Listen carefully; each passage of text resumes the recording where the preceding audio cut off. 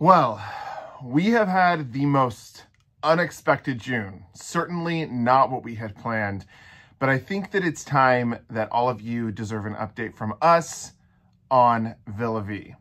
JJ Cruise.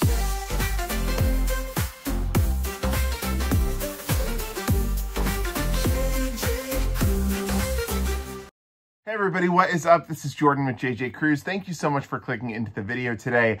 I know a lot of you here that watch the channel today found us earlier in the year when we discussed Villa Vie and going to live on a residential cruise ship.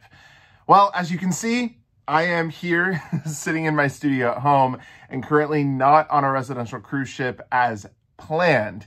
So today I just want to go through an update, tell you a little bit about what's going on with us, what we understand is going on with Villa Vie, and fill you in on our future and relationship with the cruise line company moving forward. Before I get ahead of myself though, I do just want to invite you to the channel. This is JJ Cruise. We are an all-inclusive, all-encompassing YouTube channel about cruise travel. If you love cruising as much as Jared and I do, I invite you to subscribe and don't forget to hit that thumbs up below. We have a very busy life. If you follow us on the channel or you have for a long time, you see that we kind of jump from ship to ship. We cover brand new cruise ships. We cover brand new cruise itineraries. And so it took us a while to kind of get on the same page with Villa Vie and kind of formulate this plan that would really work with our schedule to check out what this new cruise line is all about and how we kind of fit into their world of digital nomad cruising. If you haven't heard yet, Villa Vie is a brand new affordable residential cruise ship that people are selling their homes to go and live abroad while the cruise ship traverses the world for three and a half years. They had invited us on board to come on board for part of our summer, to live on board, to figure out what life was like at sea, and to really understand their community and the mission and value that Villa Vie really is trying to provide to not only the cruise space in the industry, but also the travel world. We announced in February that we were officially going to be on board starting in early June once the ship was launched, while we were going to be in the northern part of Europe for a majority of our summer, just living on board, getting to know the product, getting to learn from the people why they sold their home or why they decided to live on board a cruise ship full time, and covering all of that for all of you at home here on YouTube. Well, June has come and gone. We are now in the first week of July and you have made it known that you want an update. So many people have been commenting on every single video, even videos that are not related to Villa Vie.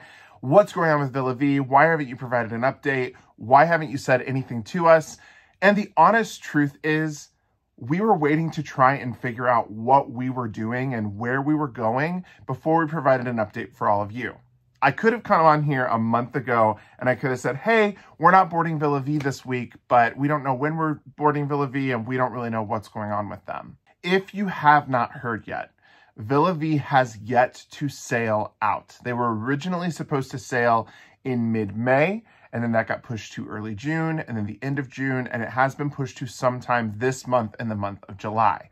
There's very, very good reason why they are not sailing yet. And I think there's a, a good understanding from all of their community.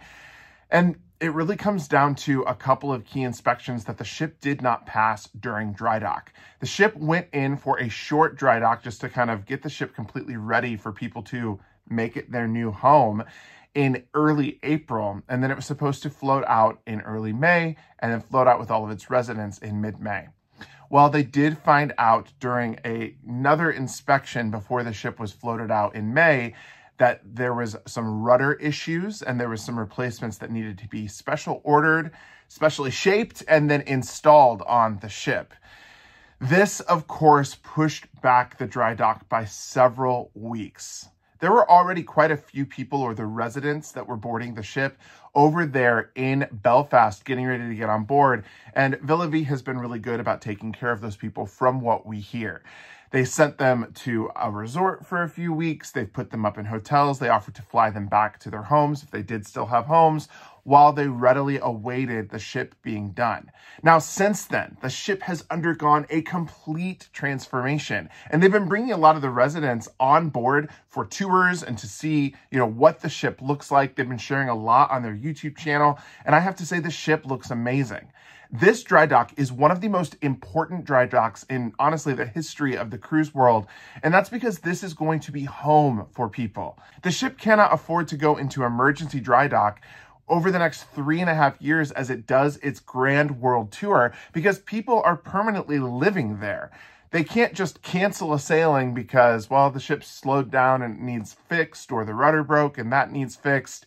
They really don't have that option. So they have this one shot to get their dry dock right and get it ready for the next three and a half years.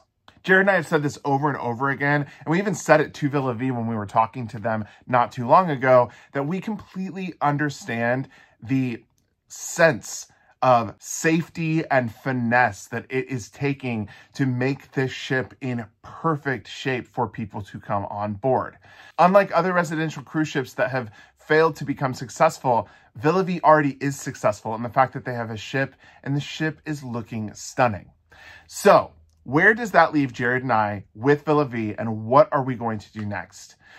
Well, we had some other things, some other opportunities come up this summer, and we eventually had to make the very hard decision to not get on of the Villa Vie Odyssey this summer, but wait a little bit while we take care of some things at home and also take a couple of other very important trips and opportunities that have been presented to us. We will now be getting on board and meeting the ship when it comes to North America in the fall. So mid-September, the ship comes over to the Northeast. Our current plans, which could always change and we will keep you updated, is to meet the ship and get on it for two weeks to specifically film the ship, kind of check out what Villa Vie is and make that kind of our intro to Villa Vie. But it doesn't stop there. Two weeks is certainly not long enough to live on board and understand what it's like to live on board. So our plan is to go back in 2025, meet the ship probably in another part of the world where we will stay on board for an extended period of time to really then get the understanding of what it's like to live on board, become a part of that community, and learn a lot more about Villa Vie and what they stand for and what they're doing and their place in this industry. We haven't lost any of our excitement with Villa Vie, of course. We were so excited to be getting on board in June, and we just know that that's been a little bit delayed for us so that we can go and do other things. So what is coming next for Jared and I?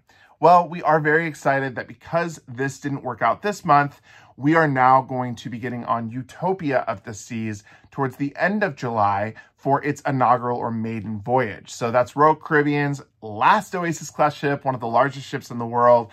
And we'll be getting on that ship to film it and really see what is going on in the world of Utopia of the Seas. We're not slowing down. We're not ending anything with Villa Vie. We are full steam ahead and we are very excited for the future and the opportunities that are really being presented to us. So Thank you for your patience. We apologize if you've been sitting at home waiting for this update, but there it is. That's what we're doing.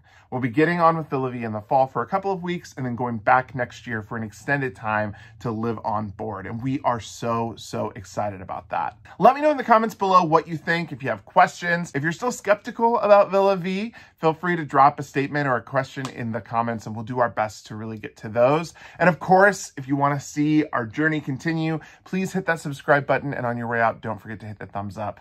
That was the update. Again, my name is Jordan. This was JJ Cruise. And until next time, See ya.